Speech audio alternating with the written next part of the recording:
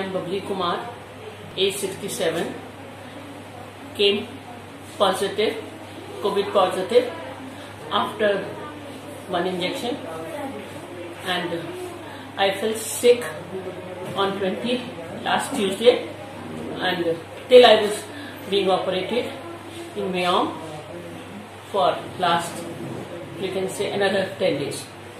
But I'm so impressed. This is the hospital this is the hospital for God's sake Mayom should rise and I will tell everyone good services at budget price. Thank you.